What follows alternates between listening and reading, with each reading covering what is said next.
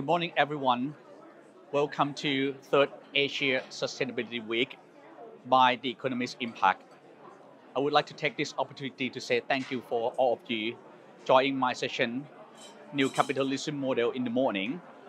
I hope we can continue many dialogues and conversation regarding how we can re-engineering the future of our economy.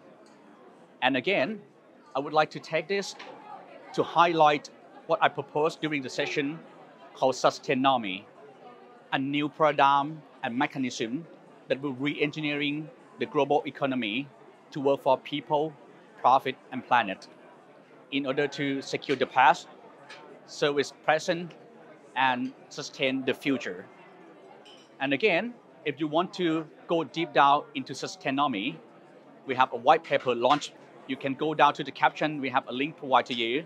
And I look forward to everyone to collaborate together and create the key economy that work for the future generations. Thank you so much.